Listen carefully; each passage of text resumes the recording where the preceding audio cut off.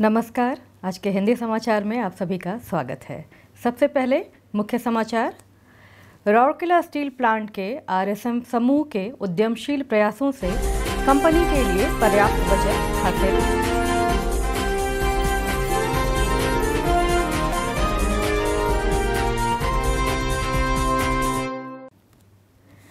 NTI छात्रों के लिए पीसी सॉफ्टवेयर और एप्लीकेशन पर बिगनर्स कोर्स पर कार्यक्रम।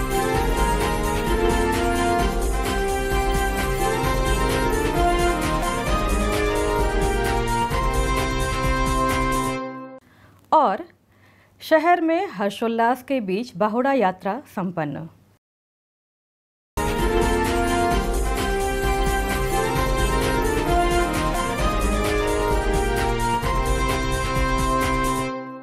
अब समाचार विस्तार से। SAIL Rourkela steel plant RSP उत्पादन की लागत को कम करने पर बहुत ज़ोर दे रहा है। ताकि एनएसआर की कमी और चुनौतीपूर्ण बाज़ार परिदृश्य के प्रभाव को कम किया जा सके। जहाँ प्रमुख उत्पादन इकाइयाँ उत्पादन में नई ऊंचाइयों को प्राप्त कर रही हैं और उत्पादकता और तकनीकी अर्थशास्त्र में सुधार कर रही हैं, वहीं सेवा विभाग भी अभिनव प्रयासों के माध्यम से पर्याप्त बचत प्राप्ति में सफलता हासिल कर रहे हैं।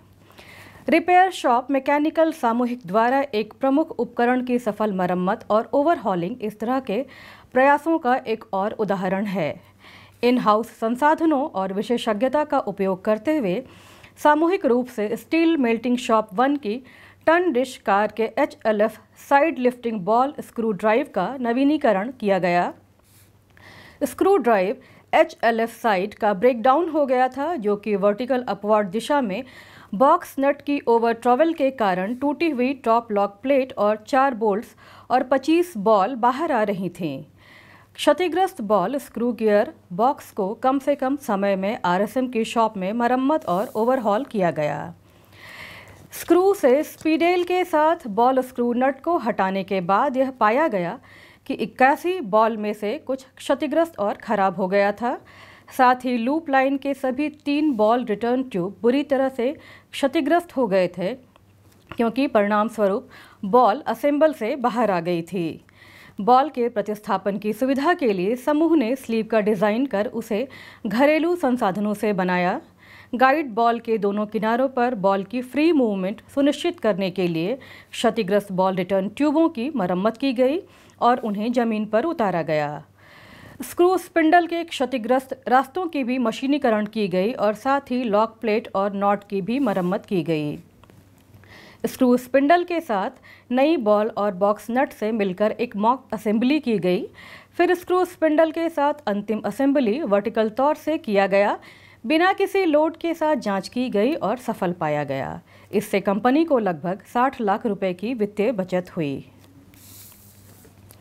एचआरडीसी में 10 से 13 जुलाई तक पीसी सॉफ्टवेयर एवं एप्लीकेशन पर बिगनर्स कोर्स पर चार दिवसीय कार्यक्रम आयोजित किया गया है। पहले बैच में जनरल नर्सिंग एवं मिडवाइफ जीएनएम और नर्सिंग ट्यूटर के पहले वर्ष के सत्रह छात्र पाठ्यक्रम में भाग ले रहे हैं। कार्यक्रम के दौरान छात्र को hard disk, RAM, central processing unit CPU monitor, keyboard, mouse और स्टोरेज डिवाइस जैसे बेसिक कंप्यूटर हार्डवेयर के बारे में पढ़ाया जा रहा है।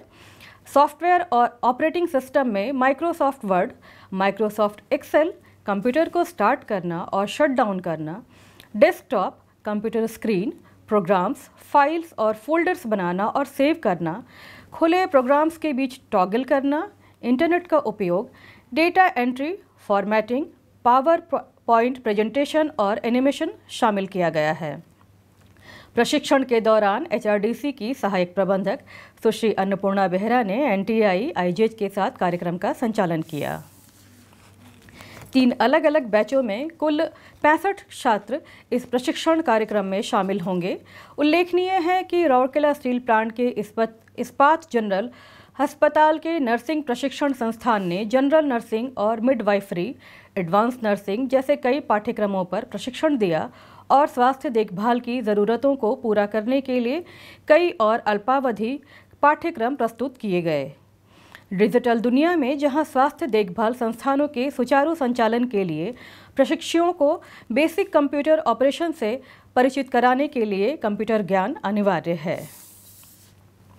12 जुलाई को बहुड़ा यात्रा मनाई गई।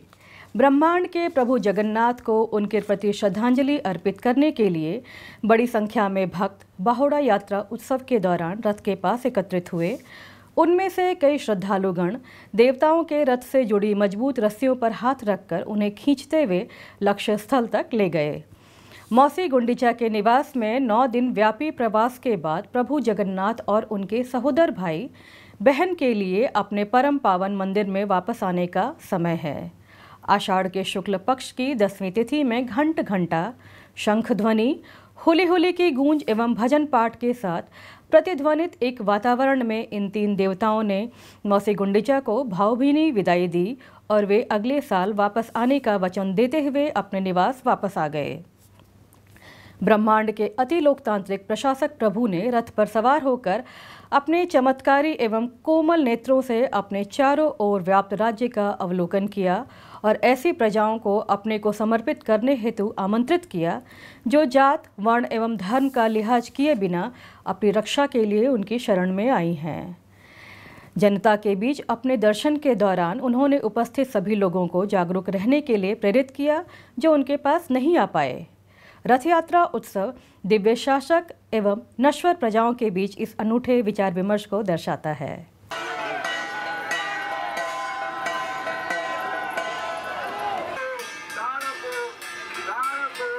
इसी के साथ आज के हिंदी समाचार यहीं समाप्त होते हैं। नमस्कार।